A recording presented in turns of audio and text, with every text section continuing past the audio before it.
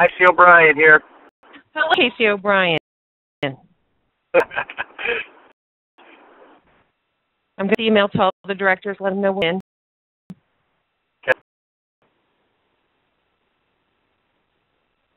Did it with this.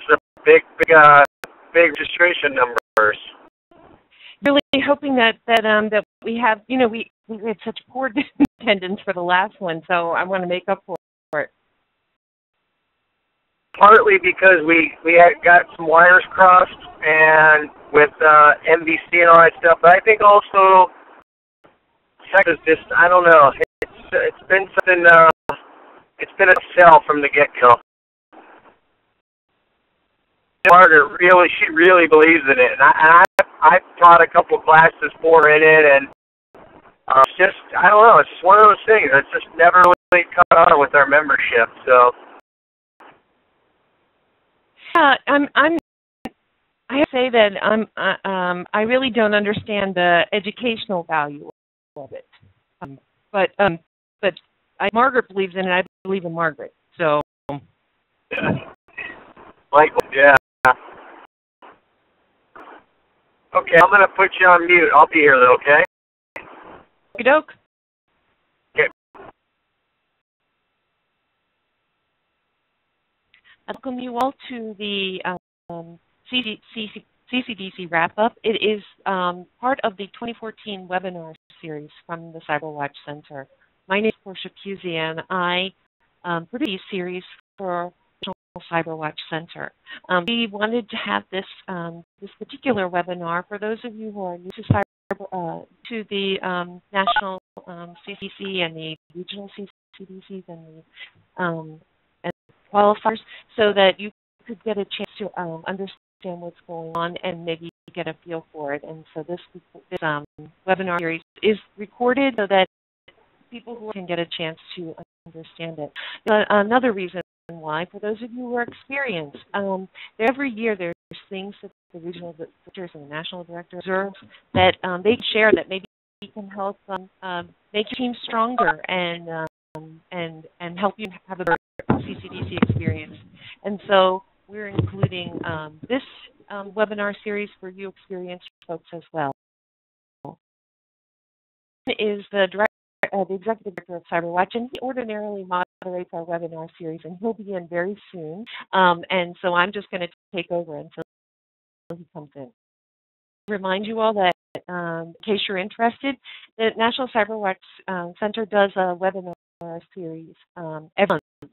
And next month we're talking about the um, Work Report Framework 2.0. It's going to be a really great, um, uh, informative um, webinar, we hope that you'll be there May um, 3rd, um, 20, and uh, at 11 o'clock. During the webinar series. Um, drop it in the chat and I'll try to introduce it as quickly as possible. Um, I'm just muting a few loudies. Um, and, uh, and so if you have a question, just drop it in the chat and I'll try to um, uh, address, uh, drop it into, I'll try to introduce it into the um, to the series as soon as I can we heard all of these sessions, um, and so I would like to just let you know that you'll all be receiving a thank you email from the National CyberWatch Center, and um, and we'll link to the recording. Please feel free to share it. Um, we are glad um, to produce these so that um, this is good information for you have for a while, and so feel free to share that email. Um, before we get to the agenda, I'd like the regional directors who have joined us today to have a chance to introduce themselves and you get to hear their voices. Um, uh, uh, they are very kind and um, have spent a lot of time with um, this, the, um, the, the, team, and um, they have a lot of good information to share. Um, we'll start with Amelia. Hi, this is Amelia Phillips.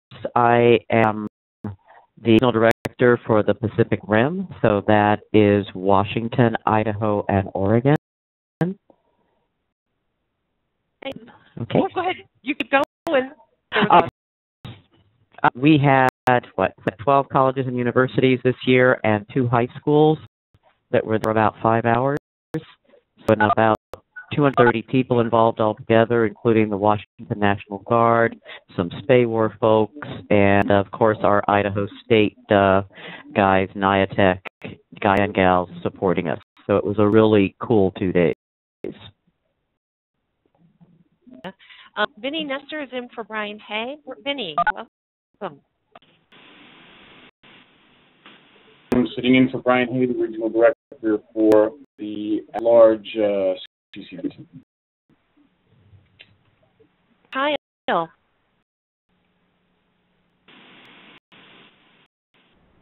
The uh, North Shore region. Kyle.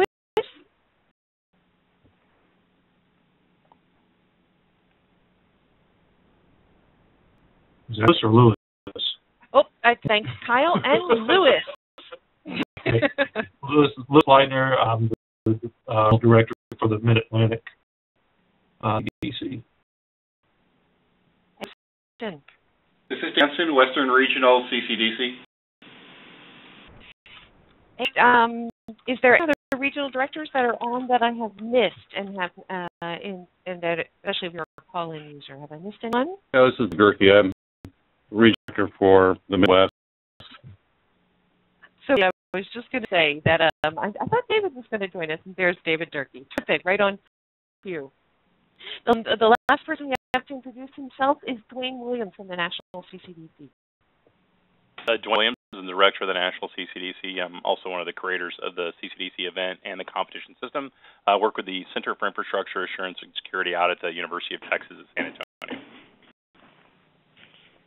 Why don't you give us, especially for the new players, an overview of the of the um, the tier CCDC as well as the um, an overview of the different elements that go into a, a CCDC event. Uh, Portia, were you, were you asking for me or Kyle to do that? Sorry, did Kyle? I meant Dwayne. Yeah, no problem. This is uh, Dwayne Williams. I'll, I'll take over. I want, first, I want to say uh, thank you to Portia and Casey and the rest of the folks at the National Cyberwatch Center for doing this webinar based around CCDC so we have an opportunity to kind of talk about it and, and spread the message, if you will. And so before I get started, I want to say thanks to the regional directors that are online. Those of you that are not familiar with the minimal amount of effort it takes to on a CCDC event, uh, these regional directors really do this as a labor of love. There's no huge paycheck that goes with it for them. They don't get, you know, a medal or anything like that. They're doing it because they believe in the program and they believe in the education that it provides. So I'll say thank you to them before I get started on my, my little splurge. Um, so uh, I'm going to go through a couple of things here. I've got a couple of minutes worth of material that I'll cover. Uh, there is, of course, a website, as there is with everything else. It's nationalccdc.org. Uh, that is the, the main website, if you will. Each region has its own website, but you can uh, jump either directly to theirs or back to the national site where you'll find information about each regional, the event, the global rule set that's used throughout the competition, background information, um, who the winners were for the past couple of years. So, what is CCDC? Um, essentially, CCDC is a a tiered competition structure. So think March Madness with computers. So it's essentially an inherit and operate and defend competition. So level of the event, going starting from the qualifier events that go through the regional events that come to the nationals. Every team inherits a small network, and every team inherits the same network at each event, but the networks are different between events. So the qualifier will have one network, the regionals will have a different network. Each region has its own network. They come to the nationals, and there's even a different network there. Typically, those networks are a small business, but it could be a hospital, a government agency, a prison. That's one of the fun things that the regional directors do is they create uh, entities that allow the students to kind of explore and, and look at different um, the aspects of different organizations and the security concerns those uh, involved in those organizations. So the team job at each level is to secure the network that they've inherited, defend the red team, the critical sources that they've been asked to maintain, whether it's an e-commerce site, web server, mail server, DNS, and so on. Uh, run the business tasks that we call injects, and manage remote employees and users. So we just finished wrapping up our ninth season of the CCDC Play. Um, congratulations to the University of Central Florida, who's our 2014 national champion. So if you get started in CCDC, the key is really the regional events. Your team must register with your region or the region that you're going to compete in. Uh, the contact information for those regional directors and to their events are posted on nationalcc.org. So replicated out, and each region has their own website that you can go to and get more up-to-date information. But you have to go through those regions. Uh, regions currently have qualifying events. They're virtual on events. All top teams from the qualifiers move on to the regional Winner from each regional comes to the national championship. So there is no direct entry into the national championship. You got to work your way up the bracket by going through the qualifier, if applicable, your regional event, and then the winner of the regional gets to come to the national championship. We have uh, currently 10 regions around the country. Uh, they're managed by regional directors, which you were introduced earlier. Uh, in the competition system uh, work together to promote and refine the rules. So there's been some confusion about um, is this a separate event or is that a separate event? Yes, there are regional directors that run and manage their events, but we are all part of that same CCC competition system, and we work together. Uh, we work together to refine the rules, agree on we're going to do things. Um, you'll see some variations between regions uh, because we allow them to, the system allows for that so that we can have people do experiments and see if something should get adopted at a national scale or not. So your region may have some unique little uh, twist to it one year that you may not see replicated throughout the rest of the event. So we, we have allowed within the system some flexibility so that people can experiment and bring new ideas and new technologies and new capabilities to the rest of the CCDC competition. So we have experts, if you will, that we decide, hey, we're going to carry this forward or not. So every CCDC event does use the same basic rule set. We use the same scoring methodology. Uh, you gain points by keeping your services up and running, fighting the business tasks that we call injects, taking the users or remote employees. You lose points off your score due to red team's actions and service level agreements if your services are down uh, for a certain period of time. So the concepts themselves are all kind of structured the same way. As I said, you'll see subtle differences from one to the next. That's fine. The core rule set and the core functionality and the core score methodology is the same from region, from qualifier to qualifier, uh, and up through the nationals. I want to spend a couple of seconds talking about the trends I've seen. As I just finished up our whole ninth season uh, that included national championship this year. So the trends that I've seen, the teams that are coming through the system now are far better than they were in the first two, three years. Uh, the competition has certainly evolved and become more complicated, more complex, but the skits and the team preparations are better every year. There are teams that are competing and they're working towards their CCDC event starting, you know, in, in the next two or three months. There'll be teams that start that start working together, meeting on a regular basis, planning, uh, building skill sets, going in other competitions, and moving towards that. As system continues to grow, we see more competitors every year. Uh, more schools are involved every year. We're seeing a lot of outside interest continue to grow. I've had um, a record number of recruiters and headhunters contact me this year and ask for advice on keywords that they could look for when they're doing resume searches. So recruiters and companies and headhunters are absolutely looking for not only CCDC experience but competition experience on resumes because companies and the government entities absolutely recognize the value of that experience that you gain from competing events like CCDC and others. Uh, CCDC is also partnered up with Cyber Patriot. You may have heard of the, the high school cyber defense competition that's run by the Air Force Association. Uh, organization actually provides the technology behind Cyber Patriot, so we're very closely linked to them. And what we're there is the flow of high school students that are competing in Cyber Patriot. They're graduating and they immediately start looking for colleges and universities have competition teams for events like CCDC and other cyber competitions. So that whole trend of competition as education and as fun is continuing to grow. Uh, that's actually putting down into the middle school element and broadening across the high school element. So we're more and more of that uh, as that continues to grow. You're going to see more high school students that come and they're looking for a school that has a CCDC team because they played in Cyber Patriot or something like that, and they're interested in continuing on in that competition um, mindset and inter- interested in continuing to compete. So the last I'll say here is uh, there is the national CCDC.org website. Absolutely take a look at it. There's a lot of good information there as well as links back to the regional events you need to go through. There's an older team guide posted there. Uh, Portia and some of the folks that she's working with are building a more update team guide, uh, how to get started guide. I'm hoping she'll talk about that a little bit later. Um, and that that kind of wraps up my remarks. I'll kick it back over to uh, Portia so she can continue on. Thanks. Very much. And, um, and so let me just tell you a little bit about what the agenda is, and then I'm going to pass this over to Casey if he's ready.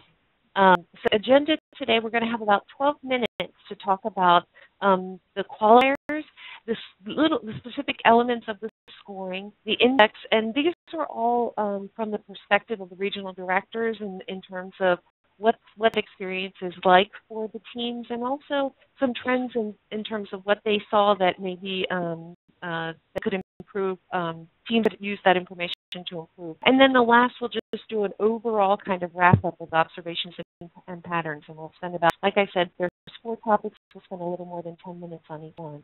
Without further ado, Casey O'Brien, are you ready to take take over?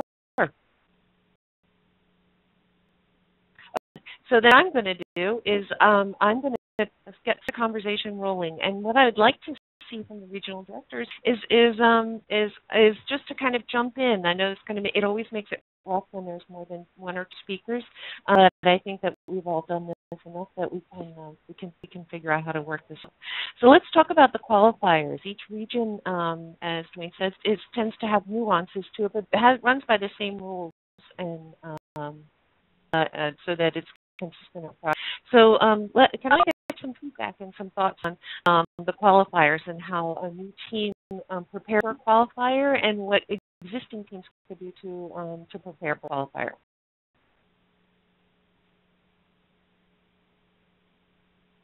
And this is, we qualified times here. Um, we have 13 team last year face to face, and we knew we could never do that again. So this year we had 14 teams plus one high school team in the uh, virtual qualifier. We also had invitationals before the qualifier, which I actually recommend. Um, it's a pleasure to work with CSSIA. It's a pleasure to work with David Durkee, and that's who uh, runs our uh, qualifier and our invitationals. One thing that um, David had allowed us to do is have practice time for the teams in the environment. I think was a big help. Well, I really think there are some lessons learned, positive lessons learned that we have this year from doing the qualifier, but I know we'll never go back to have more than eight teams at the regional. So I think qual- qualifiers is something that will be able for us from now on. So, um, so yeah, tell me about your qualifiers and um, and and what a team could do to prepare for them, or, new or an existing team team could do to improve their performance. Uh, well, actually, in the Pacific Northwest, we do not have qualifiers currently. Um, our facility is large enough to have, uh, we're guessing, up to 20 teams. Uh, so weekly require that they are accredited schools. And that's where we're at right, right now. Area, and you're on the phone, Meg. Um, know that you can get in there and compete. Get in there and and uh, and, and and fight for get the nationals. How about Durkee? Tell us about your experience. Um, appreciate uh, Dan the plug there for CSSIA. We did provide uh, compass for a number of the different regions around the, the country, the Midwest, the Western region, as Dan said, Southeast, Northeast, and Southwest. So CSSIA's pretty busy this year, offering their stadium type uh, experience. Uh, again, um, as Dan said, since it's available 24 7, it does allow teams to be able to go in. Um, the whole history has been that as we've acquired more and more teams that, that want to participate in the CCDC, um, we're noting that every region um, is having some difficulty managing the large number of teams, especially with brick and mortar type of competition. So that's that's basically the driving force. We're going to build something that has a virtual environment. It provides a number of advantages. Uh, as we said, teams are allowed to practice, and actually, um, it'll teams to compete from respective remote sites. Uh, some development. The stadium's been up and running now for several years. So we've had to, you know, work out some of the kinks in the system, problems with access and uh, managing remote sites and so forth. But um, we feel that that's that's kind of a winning process process compared to trying to do brick and mortar for a large number of teams. Uh, not to focus exclusively on uh, on the virtualized environment, though, um, some um, for new teams to try and prepare for uh, CCDC, uh, tracking uh, feedback on CCDC for a number of years now, and we find that the better performing teams have student clubs. So advisors and team captains are encouraged to form clubs at their respective schools that uh, where the membership, of course, exceeds the uh, the numbers that are needed for a specific team. And generally speaking, those those teams um, extend the, the learning profiles that, that are provided within the, the scope of coursework itself. Uh, become more accountable to each other. Uh, it's it provides a greater cohesive cohesive teamwork and so forth. Uh, another thing is that uh, teams might want to avail themselves. Um, we might want to hear from you know others on this uh, of other part competition space that are available. Uh, thing that's certainly available out there is the National Cyber League. Uh, the National Cyber League has been kind of focused in out to try and dovetail and work synergistically with the CCDC. By the NCL has a fall season of preparatory type exercises that would then lead up to um, what's viewed as a as a higher level and more robust type of competition with the CCDC. Thanks, Louis. Um, you just? Oh, go ahead, uh, Amelia. He brought up something that I realized we did run into an issue where a lot of the schools did have to have qualifiers inside of their schools because they had about 20 students and only eight, of course, could come to the CCDC. So teams themselves had to basically self-select who was coming. And that required really looking at a broad range of skill sets. So what most instructors learned was that you're not just looking for the best hacker or the best router person. You also needed to have have uh, teamwork and things like that going on. And so um, let, um, let, let, let me just jump in really quickly since, um, since um, Dwayne was enough to, to bring up the guide that I'm uh, writing on behalf of the National Cyber Watch Center. A lot of discussions with the coaches and and the regional directors and the players. And um, when it comes to that team, um, some schools have very, very large teams, and there are different me- methods that they use to, to, to decide on who is going to be on that roster. The CCDC a, a 12-man roster, but only eight get to play on the team. And so, if, if there is great interest in the school, there's a couple of methods they use. One is the playoff method. Another is simply that uh, um, the players are um, they they they discuss among themselves what would make the balance. In some schools, players self-eliminate themselves because they recognize that there's someone who has stronger skills or has better teamwork or is a leader. Um, but it's very important to consider overall skills when it comes to the CCDC in your in your team members. Um, and I, um, maybe um, Louis, um, could you um, describe um, maybe what you'll see in terms of the, the teams that are coming to help people are building teams to become a CDC team? Just described is, is what we see. We have a, a large number of teams competing in the qualifier. We have uh, teams competing, and we see everything across the board from uh, outs to uh, self-selection, uh, the uh, lines, what we see, and what one of the things we encourage is to try to, um, to be student driven. Um, a lot of you get more buy-in if you have students that are passionate about it and to champion the effort to do the recruitment. Um, but some schools don't don't have that available to them, so the uh, the advisors or the coaches have to be the champion. So, and we actually have one team that uh, uh, probably uh, uh, people were or did volunteer for it, and I was enabled them this year.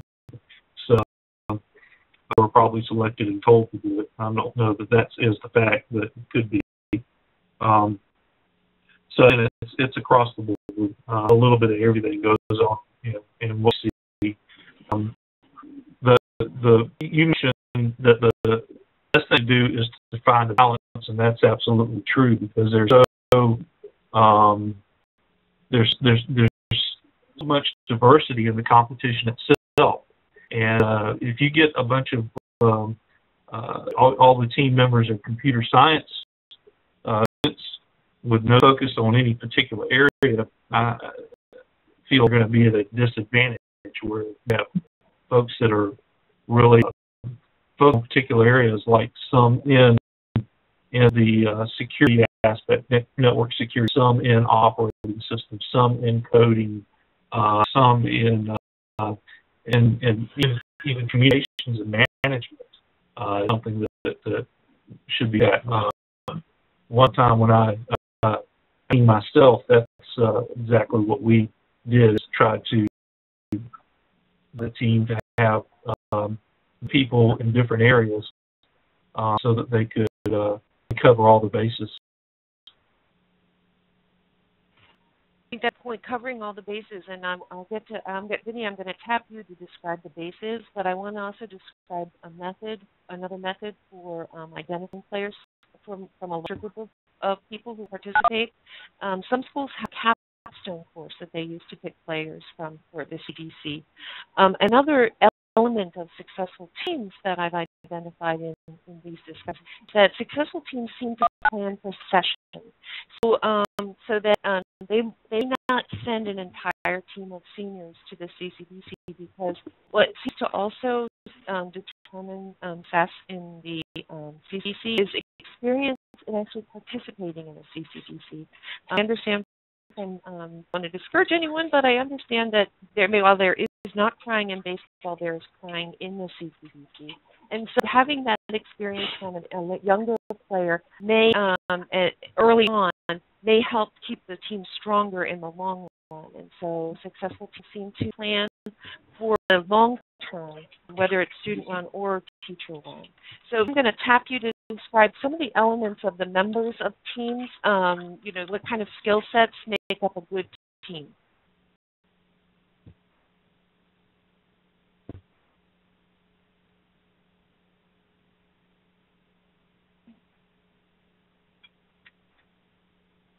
Oh, not Vinny, then how about Kyle? No, no, I didn't know if you were talking specifically speaking about me or was it Vinny Yeah, I was hoping that you jump in with um, your experience in terms of um, of what you've seen in terms of team balance. Sure. No. Um, so, going to some of the nationals and some. And I've interviewed some of the teams that, that have won, and one of the, one of the biggest um, uh, of two teams probably was with you know one one force and one was Washington a couple years ago, and couldn't find two more difference in terms of how they trained and how they operated. Um, Air Force was very you know structured. They had their you know hierarchy of you know ranking stuff like that. And uh, Washington was a little more um, well, looking at as a group, but their approach to things are a little different. And I think the, the key that came out of that is that the CC is not a network administration competition, it's a problem solving competition. So looking at skill sets that know routers, you people need people that know how to add Linux or Windows you know, any of those things. But it is not what they know, how well they are at solving a problem related to that. So you're, if when you're developing a team, things that I think is clear uh, is that it's impossible to prepare anybody for the thing that they're going to face at the CCDC right? There's, there's, you're always going to throw something in there that they've never seen, a version of uh, operating system or something like that they've never seen. And the question is, how fast can you orient to what's going on and adapt and and um, and overcome? So that's that's I think the key the key that you know you're, you're training a group of problem solvers. Yeah, I agree with you. Problem solving is key. Um, and uh, and so, um, Dwayne, I think um, maybe you can speak to the specific uh, skill set or, or team teams for us. Sure, absolutely. And and having had the privilege of run the national championship for the last nine years, I can tell you, no team has ever won the national championship that did not have a balanced approach to their team and their skill set. by balanced approach, I mean if you look at the CCDC competition, it has technical components to it, it has business components to it, it has operational components to it. So you cannot come into the competition with a pure uh, technical team, and I'm going to say you know a, a group that only understands routers and firewalls and switches, but has no writing skills, no management skills, so on, things like that. You have to have all those players. You have to have all those bits and pieces. So we've had uh, teams that made it to the nationals, and their team captain was a business major. Um, we've had sociology majors, psychology majors come through. It's not just pure computer scientists. And actually, if you stack your team with nothing but hardcore techies, uh, you will not win the national championship. I guarantee you. The whole system is designed to prevent that. You are running a small business, so you absolutely have to have the techie side of it, but you have to have that operational and business aspect side of it as well. If I look at the the scores from the national championship and I look at the team makeups over the last nine years, it's absolutely held true, and and you cannot win. Uh, the CCDC event, certainly not at the national level, with one or two superstars. You have a strong team across the board. You have one or two people shoulder the load. There's just way too much work to do. And that's the, and and that's exactly it. The, that every team that I've talked to has said, you know, you every hair should be on fire is what I've heard, and that that that everyone should be working. But then I heard another wise piece of advice is uh, from that team leader who, like you said, can come from any major, um, and and a lot of times, like you said, business major, psychology majors have been very successful as the as the, as the team captain. Um, one of the things that they said is, um, you know, prepare your your team to take breaks. Not everyone can do everything the entire time, and that you when when you see someone that that that's getting too much stress, you, it's it's so intense that you really do need to take those breaks. I'm going to give you the last word on um, on team balance and team formation and qualifiers as I try to, if anyone who's um, watching my screen, um, I've gone blank as term in terms of the PowerPoint is concerned. So, um, Kyle, if you'll take it over quickly while I try to get to the next slide. Another issue that, that you see successful teams able to do is just communicate with each other effectively. Not say that you need to walk into the team room and, and see they're sitting there silently and they just can read each other eating stairs, but to actually able to communicate, I need, you know, some help with this, I need uh, someone to in that has experience in this area. That's a big area where you really see teams able to a lot faster and more efficiently if they're able to communicate with each other more efficiently. Is key, isn't it? Um, that that uh, especially what I've heard is when there's a, a player who's having difficulty in, in solving one of the challenges or working on an injury, um, they cannot be afraid to speak up and say, "I'm running behind and I need help." And I think that that might be a difficult thing for an, um, for a young person to admit um, in the midst of this um, difficult competition. So that transitions us to the scoring and the different elements of the um, scoring.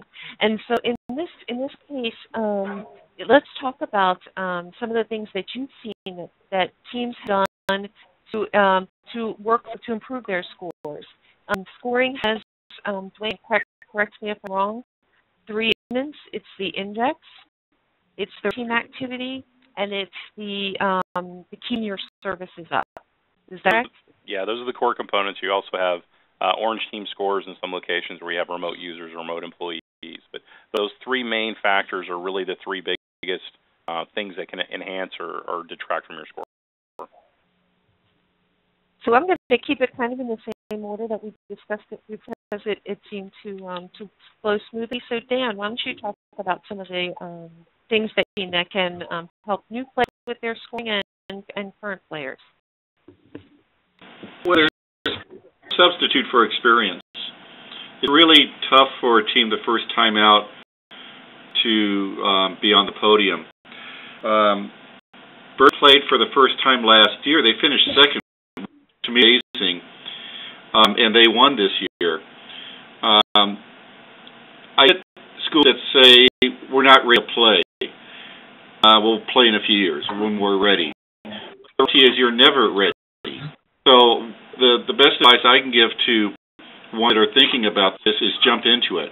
because that's how you learn to play the game. You learn by playing it, by trying to prepare in. Good point. Um, Amelia, what have you seen?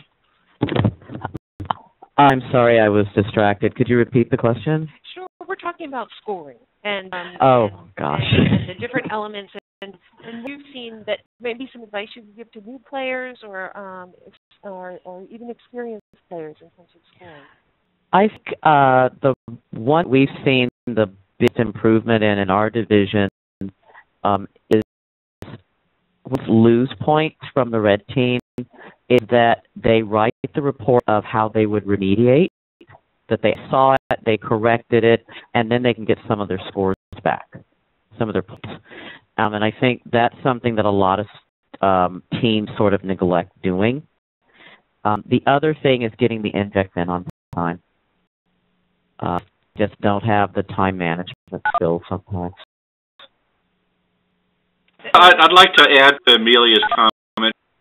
Sure. We consistently hear from our White team that there are teams that don't read the inject, and they suffer because of that. So, actually playing, they really need to understand what deck is asking for, answer that, and not assume.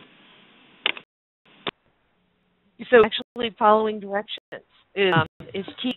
Following directions and coming in on time. It seems like a very basic skill, um, and you know they come in with all these technical uh, strategies, and they forget that just reading directions and uh, coming in on time is key.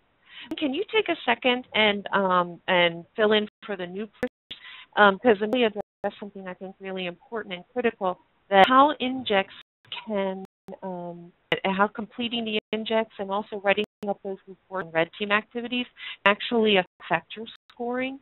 Absolutely. So um, Amelia referenced uh, what we typically will call incident reports. So part of competition, you have a live red team whose job is to probe, break into, uh, mess with your systems on, each of the blue teams or the competitor teams. And a big portion of running a business is being able to respond to hostile and malicious traffic. We locate that within the CCDC by encouraging teams to look for the red team, stop the red team when they can, but if they can't stop the red team, if they can they act or figure out that they've been penetrated, then we encourage them to write an incident report. Tell us where the team came from, what their source address was, what activity they did, what they did to your system, and talk about how you would mitigate it, either how you kicked them out and kept them out, or how you could reconfigure your system or put a better mitigation process or a better protection process in place to keep in the future. So that does allow you to recover some of the points you lose from red team activity. So you'll, for example, you might lose 200 points uh, if the red team breaks in and steals your customer database, including credit card numbers and street addresses and that sort of thing. A incident response report may get you 100 points back, so you can definitely mitigate that hit from the red team by doing good incident response reports. Now, the other leading to the inject competition is going to have injects and their business tasks. Some are things that require you to do something or implement a process. Some of them are, are writing-based tasks. We may ask you to analyze a process or analyze uh, your the company that you have and identify all the data flows that exist and whether or not they're encrypted or should be encrypted and sort of data you have, what the data classification is, so on and so forth. The biggest thing I've seen, and this has been a consistent trend for nine years now, is teams do not read and respond to the inject. That's the number one piece of advice I give for teams every year is what's being asked of you and what you're being asked to provide. So if Inject says, give me a report that needs X, Y, and Z in it and include a recommendation, the Inject, that's what you're going to be scored on. I'm not going to be scored for something that completely is off topic or if you don't cover all of the bullet points that are required of you in the Inject, you won't get full points. So Take the time to read the inject, understand what's being asked of you, and respond specifically to the inject. Make sure you covered everything that's included in the inject that you were supposed to. Uh, absolutely, bar none. I mean, it's happening this year. We're doing uh, analyzing them. We're doing team out briefs with the national teams that came. It's the same thing. I'll say the same thing this year that I've said every year for the last nine. Read the inject, respond to the inject. So that's that's a good point. Maybe um, uh, David, maybe you could um, I, we don't, don't want to give away the secret sauce, but um, David Durkee, do you mind describing some of the injects that um, that your that your team see? The injects, you say? Mm-hmm. Uh, Boy, inject, that's a broad question. I mean, yeah, it's broad, but I um, for new players, they'd like to have an idea of what we mean by inject. Sure. Um, well, I can set the stage on that. Just keep in mind that the CCDC is an integrative event, and it's it's not. Uh, I, I think it's uh, it's been underscored here that it takes a balance of skills and it takes uh, some management savvy. Uh, I know that I guess another way to put it is that you need strong leadership within the team so that you can coordinate the various tasks and prioritize. A specific task, though, I mean, there's a plethora of tasks that try to mirror image those that you find in, in industry. Important that most of us have the attitude, if not all of us, that's run, managed, um, managed by people from industry, so that it really puts some teeth into this thing from uh, from a management perspective. Part of the difficulty that people have, um, that is participants have in terms of risk and clearly addressing and documenting projects. Uh, they look at it like it's a lab write-up or something on a specific task that they're doing for homework in a classroom, when it is not, not called for at all. They need to be able to write to an inject that are appropriate for a management level individual and don't need to, to get drilled down into the toothpick level of detail and minutia. They need to be able to identify and be able to address the inject and basically say that it's done and we can show you the data if you need it. Um, but specific tasks, I mean, there, there's just a plethora of them. You know, change passwords, install a different platform, uh, change the level of your services, uh, data policy, do a security scan, a security audit, uh, run run MD5 on you know all the files in your databases. Um, you know, check the integrity of a certain service. Um, you know, lock down open ports. Uh, a, you know, a configuration on uh, uh, on your files so that you know you can improve the rules. Sometimes there's a variant too, especially in the qualifiers that we find that there's a there's kind of ringer in there that uh, basically smacks of uh, uh, frankly what you might call bad management. This this happens where they you know the manager kind of gets in his craw that hey this looks like a good thing to do, you know, a certain kind of system or something, not knowing that uh, or even well knowing that they involve um, you know vulnerability. But then you know we we them actually implement as a part of the, the inject strategy to see how um, they respond to that sort of thing. So that's kind of a broad subject, but there's there are some uh, repositories of inject examples that are available that uh, can tap into to try and uh, get an idea of what kind of inject tasks are out there. Yeah, and uh, I, I'm stuttering because um, I, I'm working on this guide and um, and, and where's this repository? I'll put it in the um, um, I'll put it in the in the guide and also in our thank you note. Well, Wade can speak up. Uh, the uh, the repository we've had on so we've had some collections of inject from past years' events, and uh, I know that's open and public, or that just for management? Hey, Dwayne, it is typically just for regional directors. We do have a inject examples that are included in the um, the guide that's up on the national website, and then we'll be working with uh, Portia to provide some more examples of injects. But I can give you two that we just ran at the National Collegiate, uh, the championship here. Uh, two of them, for example, we ran an online uh, game hosting provider as our competition scenario this year. So one of the questions I asked the teams is, should we accept Bitcoins as payment? Uh, what are security implications of using Bitcoin? Is there a safe way to do it? Is it a high risk item for us? And give me a recommendation from a security standpoint as to whether we should use and accept Bitcoin payments or not. Uh, the other examples of an inject we gave them this year was um, we gave each of them a flash drive and said our CEO uh, this flash drive, he let his kids borrow it. When he plugged it back in, it did something weird and not exactly sure what's on it. Can you analyze it forensically, see what's in there? Is there any malware on it? If so, what did it do? Uh, give me specifics, and then what sort of mitigation efforts do we need to do uh, with flash drive and where it was plugged into. So the the the impacts vary dramatically, and that's one of the cool things about the event is they're vastly different between competitions. All great examples, and I think they really help a new player uh, an idea those uh, didn't make it to the nationals understand what they could expect as some like really challenging items. Um, I want to. We have. Um, we're kind of uh, straddling two subjects, scoring and injects, and I want to steer it back. We can get back to injects, but I want to steer it back to scoring a little bit. I understand Casey has a question about uh, a question to address to the group about um, scoring. Yeah, this is Casey O'Brien. I'm the executive director of the National CyberWatch Center, and I was the Mid Atlantic Cyber Defense Competition director from 2005 to 2012. And question for the for Dwayne, the regional directors, related to scoring, which is do do you all make scores publicly available during the competition?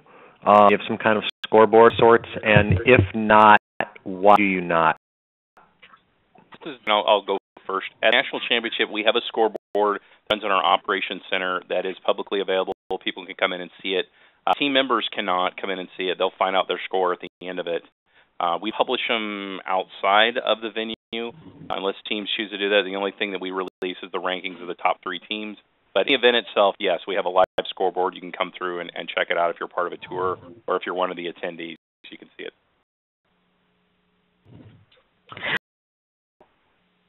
Yeah, um, we do not, um, and one of the reasons is we want to discourage the teams that may be behind in the beginning.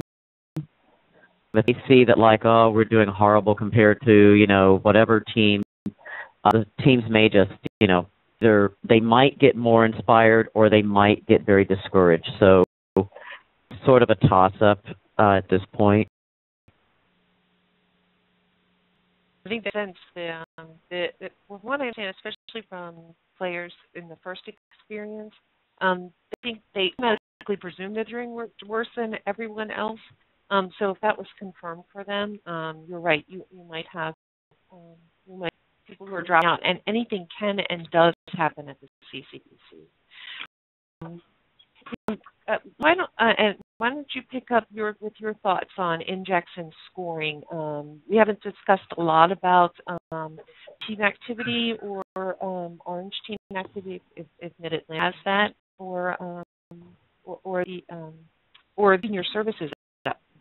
Well, from, from a big picture perspective, um, it like to managing your team and managing the role they play. So the reason why I say that is oftentimes in the qualifiers we see just totally ignore the injects. Um, and if they don't complete injects in the qualifier, they they will not be one of the top eight teams. Much a given. Um, why do they ignore the injects? Well, they get caught up with their systems being attacked and systems going down. Um, folks on those things, uh, and, and they feel like the injects aren't as important as keeping the systems up. Uh, certainly, some injects they cannot complete certain systems are down. So uh, we try to reinforce the fact that injects are just as important as any other component in the uh, three scoring areas. Um, we do that every year. Uh, and the systems go quickly. Uh, once the red team starts their activities in the qualifier and in the on-site competition, um, they start going down quickly. And see with that is because they don't pay attention to their basics. Uh, stuff they learn in the entry security course, uh, thinking level when we come into the competition and focus on the basic stuff like changing passwords, changing usernames, disabling accounts that aren't needed, um, that thing. So, so all tied together in that uh, once they start getting attacked, that their focus is is is trying to get the systems back up, and they don't really pay close attention to the injects at that point. Uh, they don't really understand the importance to, of doing that. They really, it really has to manage the team to ensure that all the bases are being covered, including completing the inch checks. That makes sense. So, so let's um, let me give um, Vinny and Kyle a chance to share their thoughts on injects and scoring. Um, why don't I start with you? Give us a chance to kind of give your thoughts about injects and scoring and, and, and what that means to current and new players?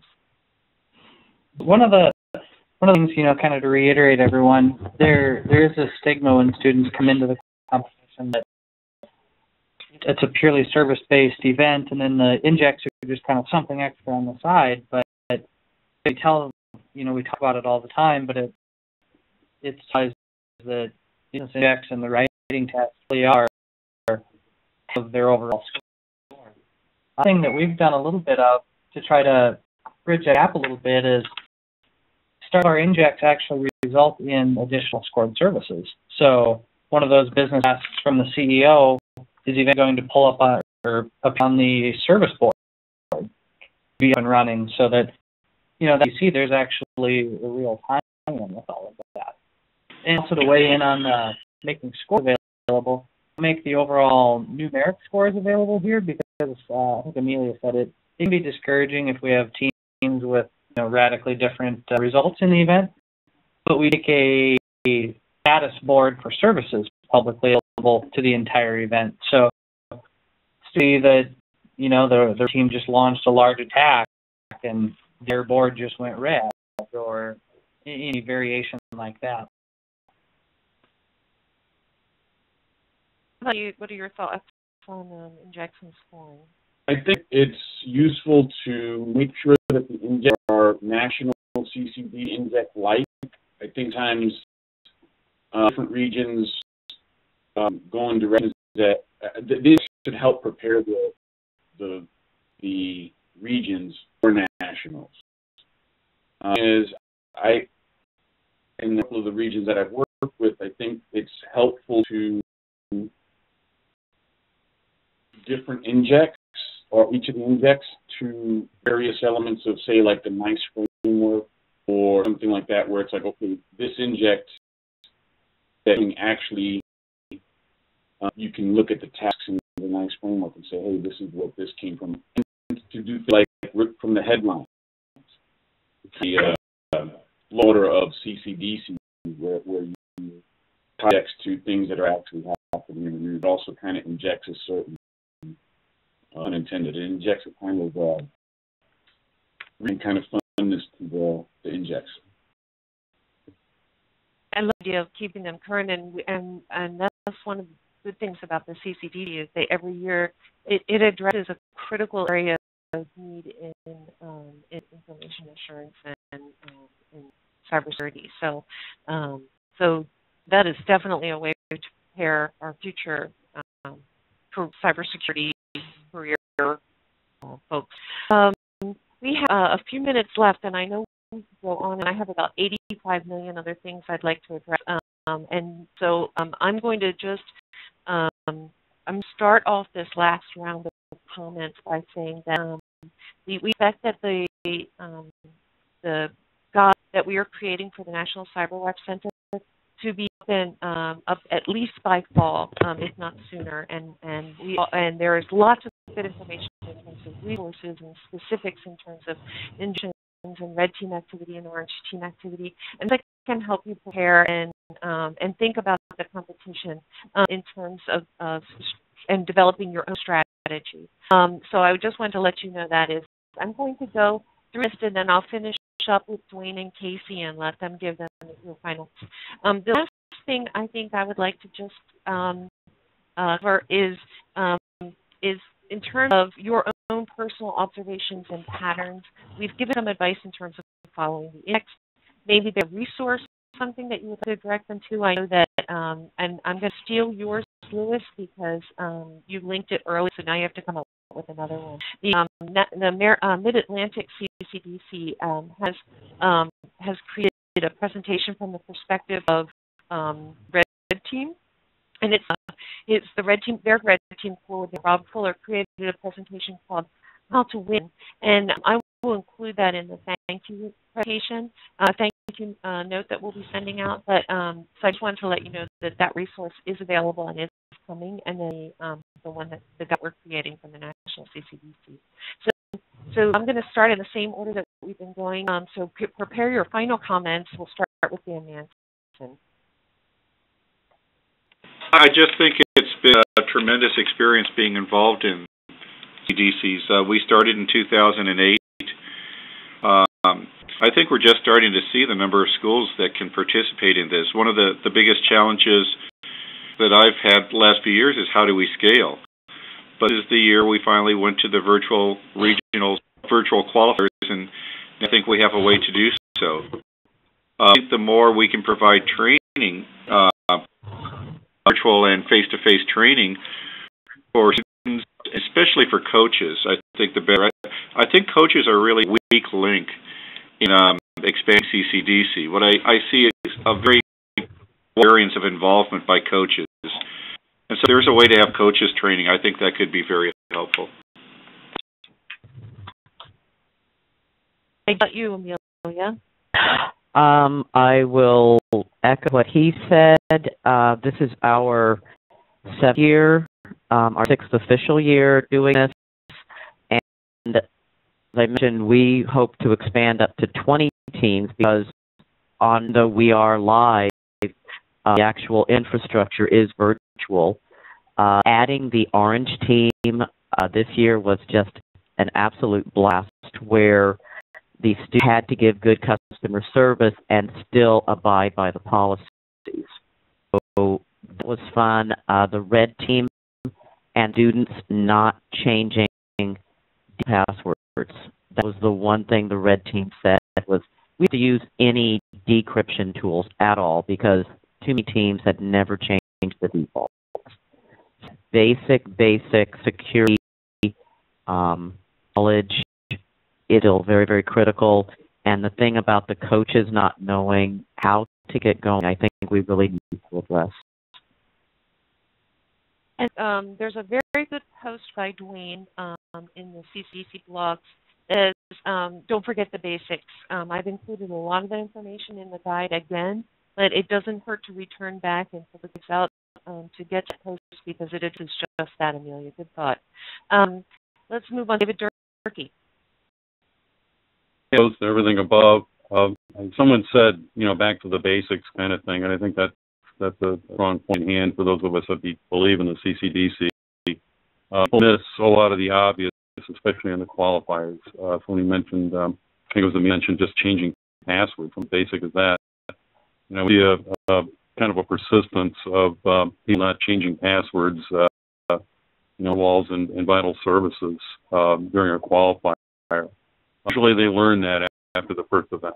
Um, and, and kind of a sentiment too that, that teams, respect with any anyone's school, they kind of have to go through an event like that to kind of get the ropes on what a competition is all about. Um, and I guess I could leave you with a quote from uh, you know coaches. That's the CCDC provides you uh, five years of experience, eight hours. Um, so it's uh, you know it is a Rock'em Sock'em event. Uh, the trend in competition, DC competition, has been to place more emphasis on the injects.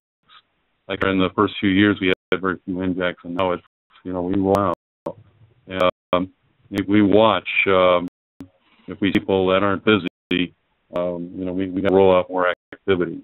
So uh, we don't see uh, this as a deodorant stress test, then uh, we're, we're not doing our job. Deodorant stress test. so I, I wanted to, before I move on to um, this, I, I wanted. There's a student in our, our group in our group and a, a comment in, in chat about the scoring and how important the scoring is to him. He says, as a student, I want to I want to know how close I was to the team ahead of me for next year. Competition is competition. We compete to win. Sure, it's not good to lose, but if we can do better next year, that'd be good enough motivation for the team. So scoring is really important to them. That that they they that they see that they're improving. Uh, Lewis, what are your thoughts? Final thoughts. We get asked. I'm sure all of us get asked a lot. How how can we prepare for the CCDC? And one of the first things I tell them is go to class.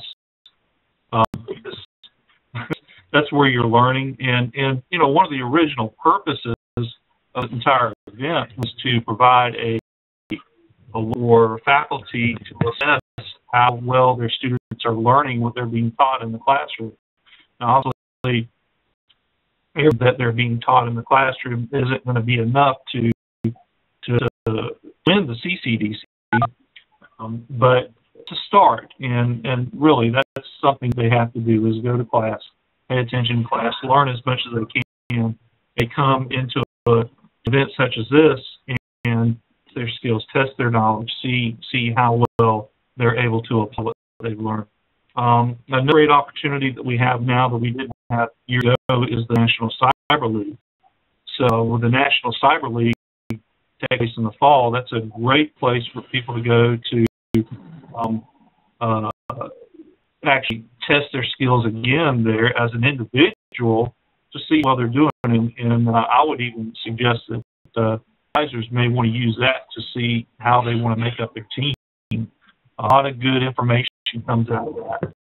And it's a, it's a great competition. Granted, it's not a an inherit defend competition like the CCDC, but it's a good way to, to assess um, the student's ability to apply the knowledge. And in fact, the uh, the competition, the actual competition piece of it, uh, placed in the same environment that we run our virtual qualifiers.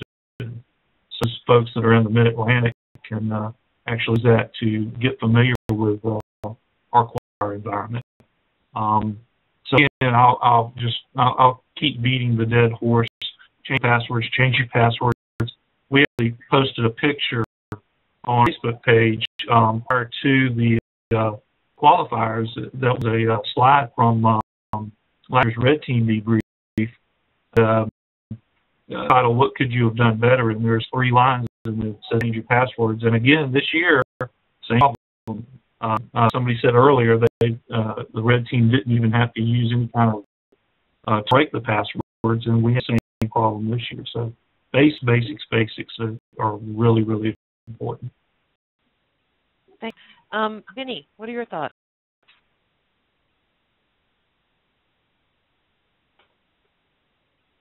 So I think the number of the students from when this first started to what we're seeing the students being able to do and what they're even talking about now has been tremendous, and that's I think um, a real testament to the competitions and and you know the CCDC itself. It's really on the level uh, of of expertise for all the students, and I think that that trickles outwards to even students who, who deal with our CCDC students. So um, you know, bravo. I think uh, this is, uh, Eddie would agree, this is a great event and it's really helping to improve the cyber corps, right? The, the students that are on the front line of defending uh, the nation's information. So bravo. That's a, that's a good sentiment. I also um, I want to um, uh, before uh, pass it on to Kyle and then finally um, and Casey. Um, I want to thank you all for letting us go a little bit long on this. Um, it's really valuable um, information that I'm glad we can share. I hope um, I hope it won't be the last of the CCDC um, webinars. Um, we had we have student questions um, uh, coming uh, coming up. You know, there's more about scoring and images of the of the of the competition environment and um, and I tried to address those in a follow-up email um, because there are still lingering questions. Um, and, uh, so, Kyle, what are your final thoughts about um, the observations and patterns that you've seen? Observation, I can tell this event has really been a success. We get the, the amount of excitement and engagement there's in this. They talk with the red team and find out what happened, and then I know they're going back to their respective schools and practices, and they're trying what that red team member told them about. They're really getting so involved and so ingrained in this, and they're they're just loving every minute of it. So that's I think the, the this event has just been awesome for all of us. And I can again reiterate the the key basics, especially you know, make their team work a little bit. um, they everyone has been making it a little bit too easy. Uh, so so maybe maybe next year is the year that the um, the blue team get out on the, the the red team. Um, so um, before I pass this on to um, first Dwayne and then Casey, I want to thank everyone for attending, and I want to thank um, regional directors, uh, Casey O'Brien and, and Dwayne Williams, for their time and support of this event. I've really enjoyed being with you. And I thank you all for coming. But there's still more summative thoughts coming from Dwayne. I, I want to echo something Dan said earlier, and that is uh, just play. If you're concerned at all about whether your team is ready, nobody's ever ready for this. Absolutely jump in. Do not wait for another season. Don't wait for next year. Don't wait till you get a certain piece of equipment or a certain coach or a player. Just play. Jump next season. The qualifying events, the regional events. I'll learn a ton from them. They're excellent experience. They look great on your resume. Um, they're fun and they're interesting. They're exciting. So absolutely play. Never be afraid to jump in. Uh, last thing is, if you're at a, a school and you're struggling to find a coach or find a sponsor, uh, there are teams that have literally won the national championship by being self-taught. The Washington team, the first year they won, was almost completely a self-taught team. They definitely had some support from their faculty advisor and their sponsors, but they really drove themselves to win that event. That was the students that got themselves together. Um, they organized, they trained, they did everything that they could possibly in their own before they reached out for support. So if you're in a situation where you're really struggling to find somebody, absolutely reach out, uh, start your own organization, and get your students together and just do it. Okay. Just want to thank uh, primarily Dwayne, really, um, for a couple of things. You know, one, just working with us on this guide to help um, coaches and players prepare. And we are going to we're going to use a print-on-demand model for that, so it'll be available for free electronically. Um, the plan is to kind of start pushing that out uh, in the fall, um, around you know, perhaps September, October, when coaches are thinking about getting teams together and really promote that. Uh, it's going to be a great resource to help prepare.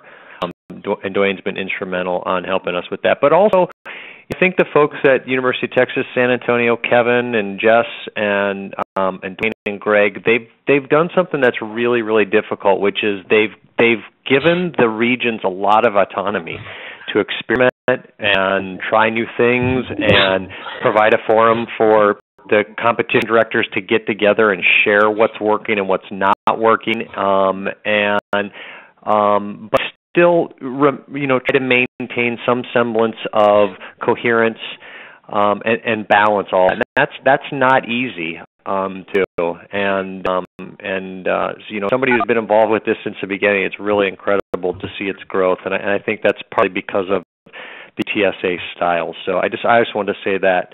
Um, and thank everybody for coming. Portia, can you go to the next uh, the next couple next two slides there? Um, so we got you check your inboxes for future uh, webinar invitations. This today was being recorded. Um, today's webinar, and I in the chat room. Um, I posted a link where it will be. It'll probably be available um, sometime early next week. Feel free to to distribute that far and wide. And uh, feel free to reach out to us if you have any questions. And thanks, thanks to everybody. And thanks, Portia. Great job facilitating the webinar today. Everyone.